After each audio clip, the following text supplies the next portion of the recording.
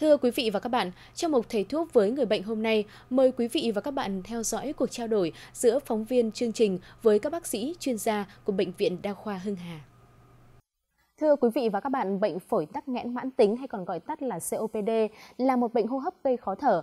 Bệnh có thể gây ra tình trạng suy giảm hô hấp, hạn chế khả năng hoạt động hàng ngày, làm giảm chất lượng cuộc sống. Và để quý vị và các bạn hiểu rõ hơn về bệnh cũng như là cách phòng tránh thì chương trình đã mời đến trường quay ngày hôm nay Thạc sĩ bác sĩ Nguyễn Thị Hà, trưởng khoa nội tổng hợp Bệnh viện Đa khoa Hưng Hà để cùng trao đổi về bệnh. À, xin chào bác sĩ, rất vui được trao đổi với bác sĩ trong chương trình Thầy thuốc với người bệnh ngày hôm nay. À, thưa bác sĩ, à, xin bác sĩ có thể cho quý vị khán giả hiểu rõ hơn như thế nào là bệnh phổi tắc nghẽn mãn tính ạ?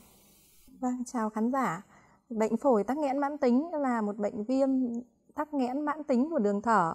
Bệnh tiến triển từ từ qua nhiều năm dẫn tới chức năng hô hấp suy giảm và không có khả năng phục hồi. Những nguyên nhân gây ra bệnh phổi tắc nghẽn mãn tính thì gồm có hai cái nhóm nguyên nhân chính là những nguyên nhân thường gặp Ờ, nguyên nhân thường gặp thì do ô nhiễm bầu không khí thở, đặc biệt là khói thuốc lá, thuốc lào.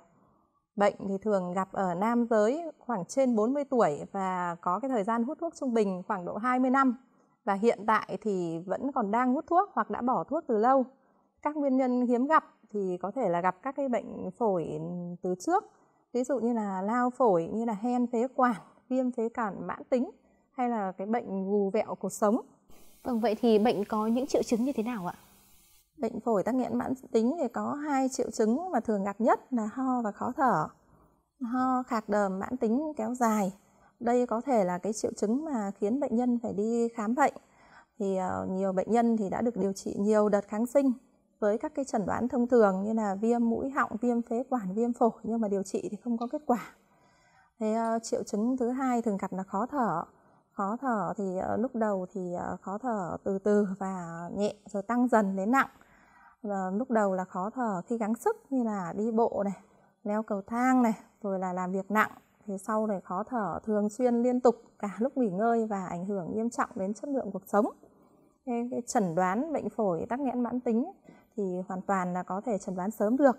Tại bệnh viện đa khoa hưng hà thì bác sĩ khám sẽ khám lâm sàng cho chụp x quang ngực thẳng và làm uh, xét nghiệm máu rồi đo chức năng hô hấp làm test giãn phế quản với những cái người mà hút thuốc lá thuốc lào lâu năm rồi ấy, thì uh, nên đo chức năng hô hấp mặc dù là không có triệu chứng gì thì hoàn toàn có thể phát hiện được sớm bệnh phổi tắc nghẽn mãn tính.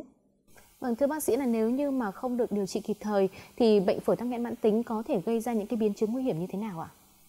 Các cái biến chứng của bệnh phổi tắc nghẽn mãn tính thì uh, thường hay gặp thứ nhất là bệnh dẫn tới các cái đợt cấp mà các cái đợt cấp này làm cho bệnh nhân là phải ờ, nhập viện nhiều lần trong năm và nếu mà đợt cấp nặng thì có thể gây ra suy hô hấp và ừ, gây tử vong nếu mà bệnh nhân mà không đến viện kịp thời. Thế ờ, biến chứng có thể gặp tiếp theo là cái Ờ, tràn ờ, khí màng phổi do nó vỡ các cái kén khí và vỡ các cái phế nang ứ khí. hoặc bệnh phổi tắc nghẽn thì thường là dẫn tới cái tình trạng ứ khí ở phổi.